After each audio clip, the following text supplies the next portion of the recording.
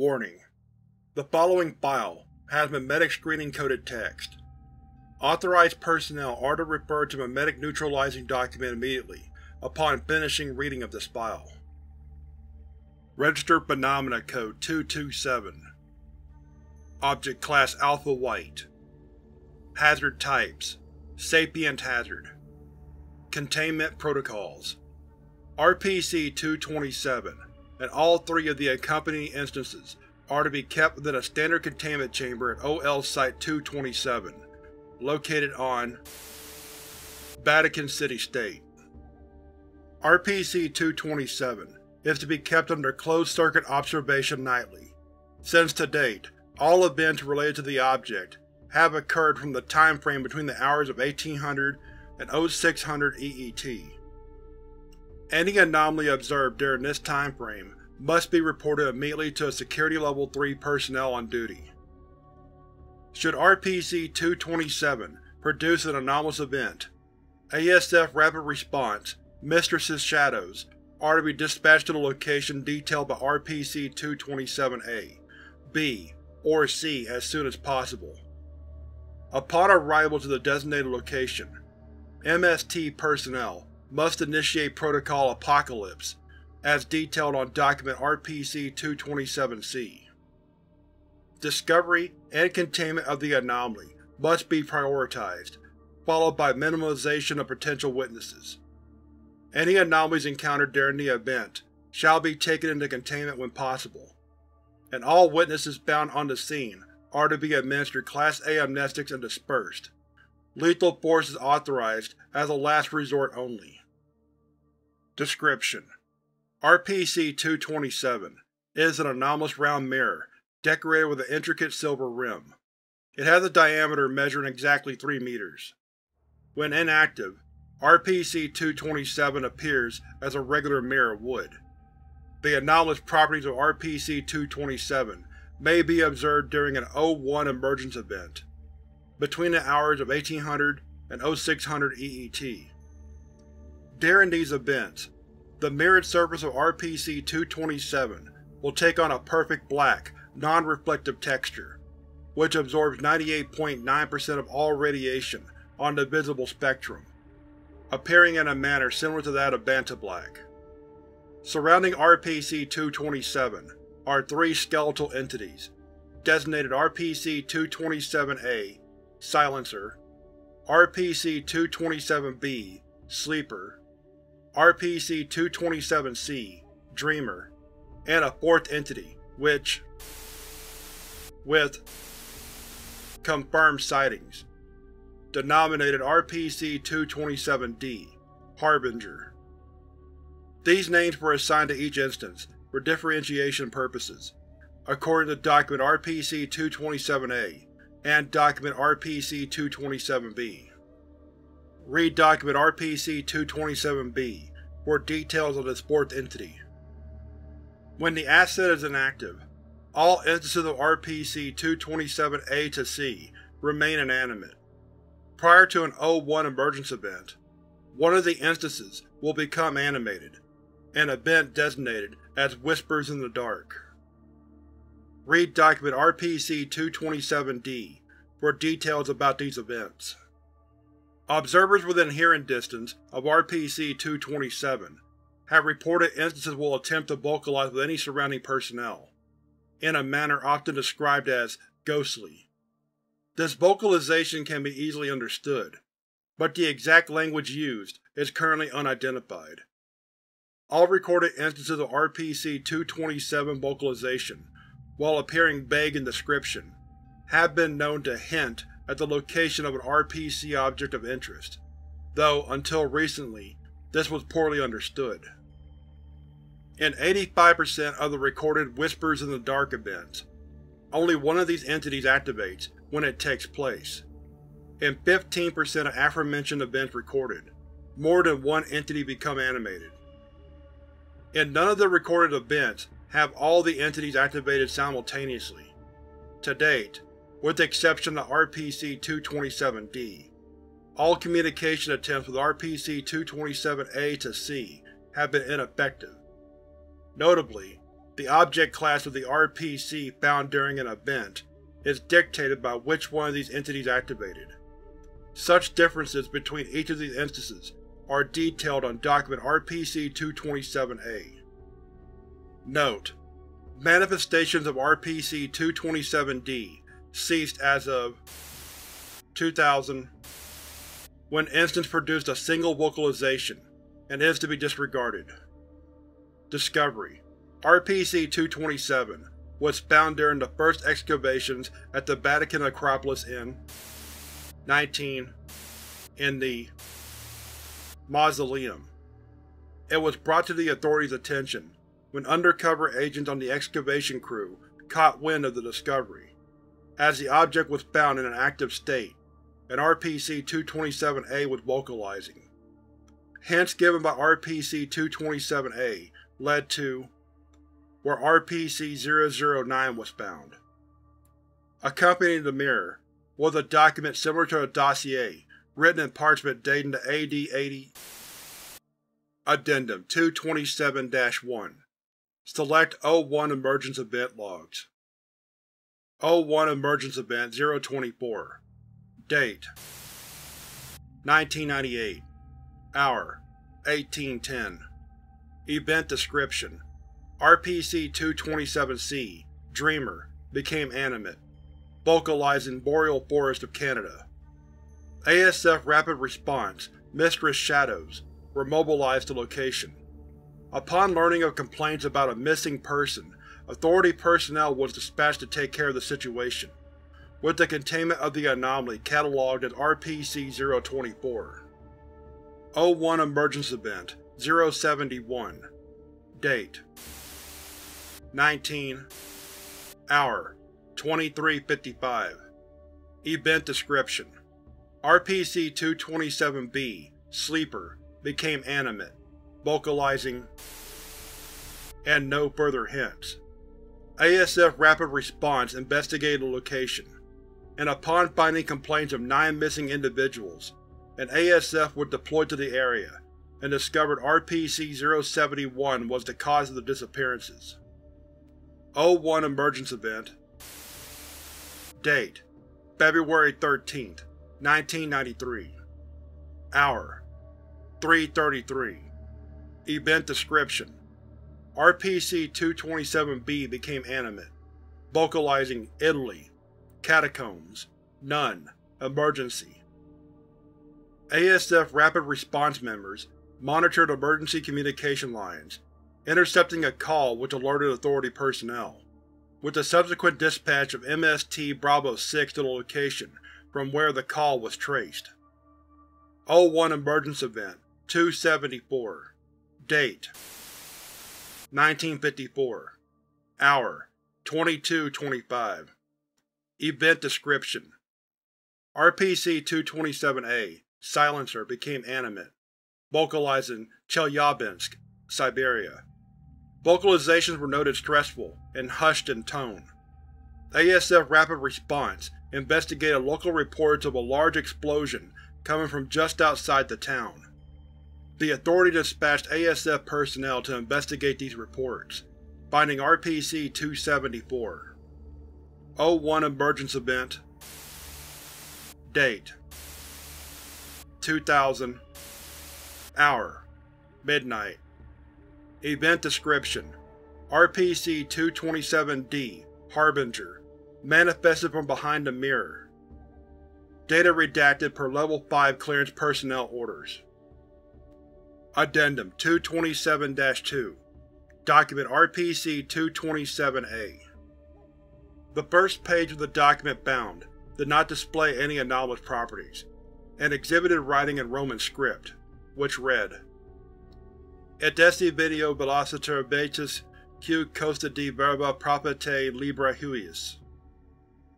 Translated to English. Behold, I come quickly. Blessed is he that keepeth the sayings of the prophecy of this book.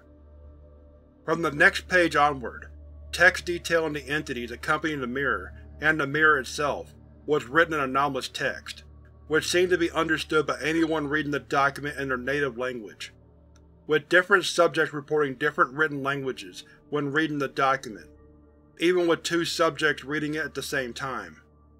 Transcript of the text reads as follows. If any man have an ear, let him hear. The signs shall be uttered by the messengers of the other world, and their omniscient gaze. For when the light fades from their mirror, a new messenger of the other world will descend upon the realm where they reside.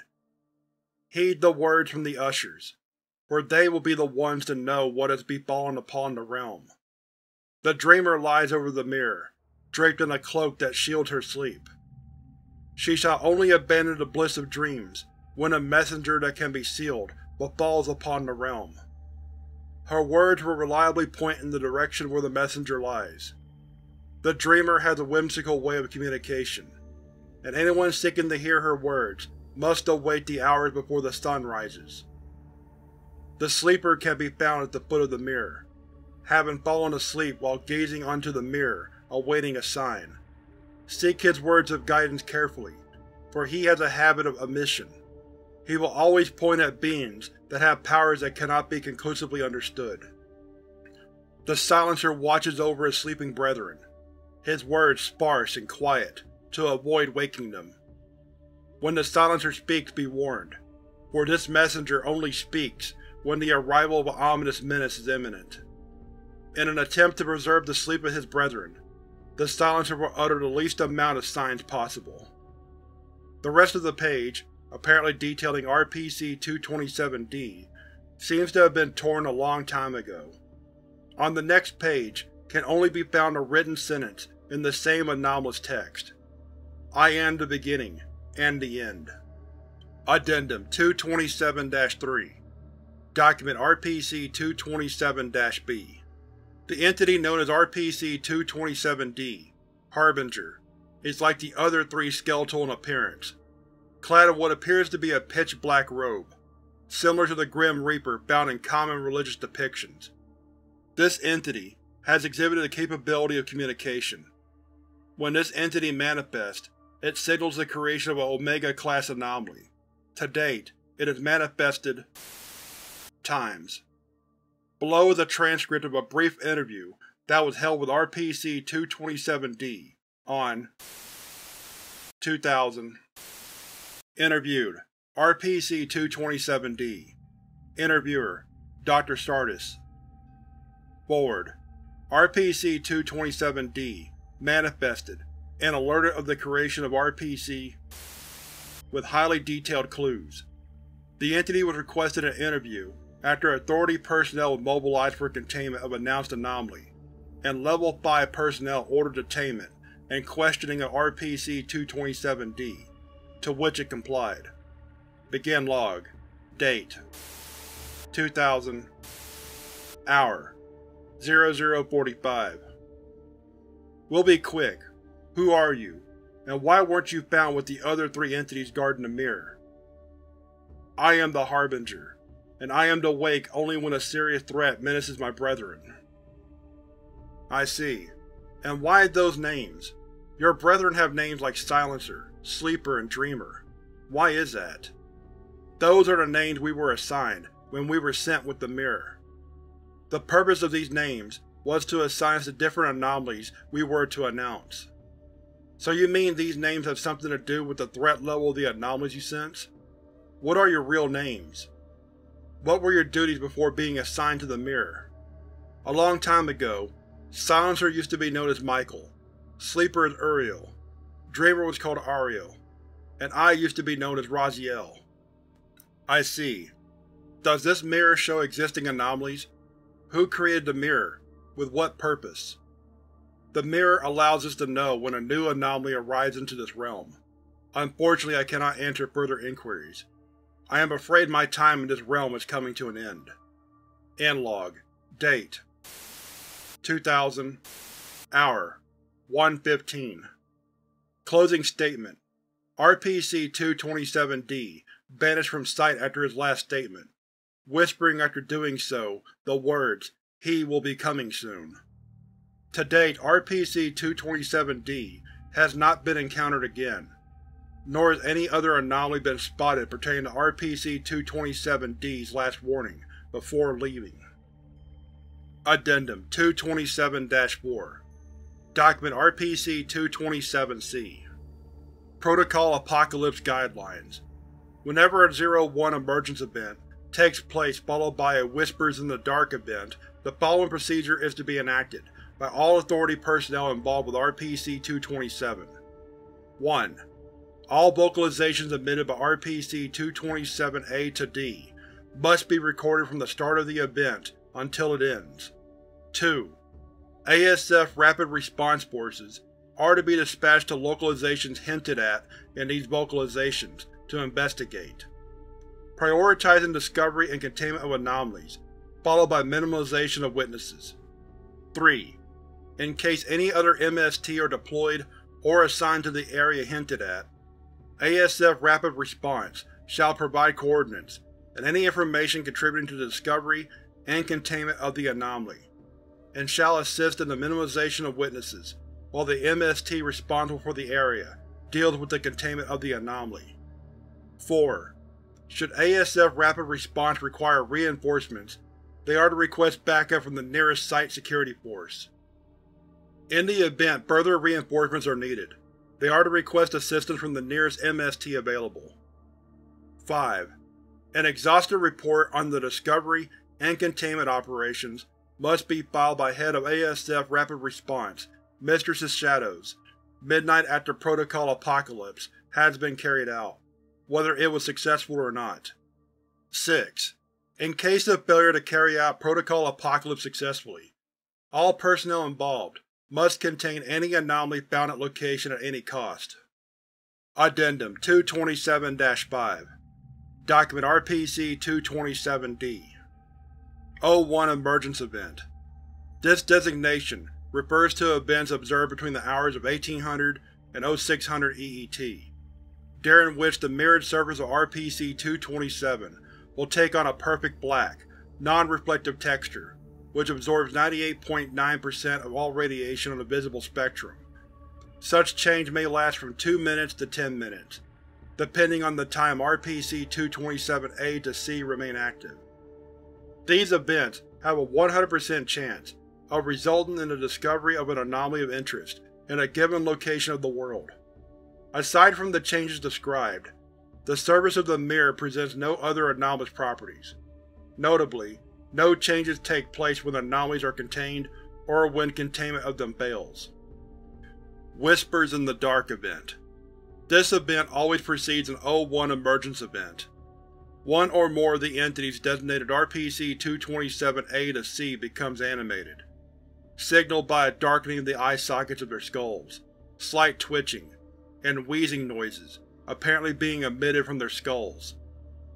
When active, the entities will begin vocalizations, which are uttered in an unidentifiable language, but have been reported to be understood by any surrounding personnel, in a manner often described as ghostly.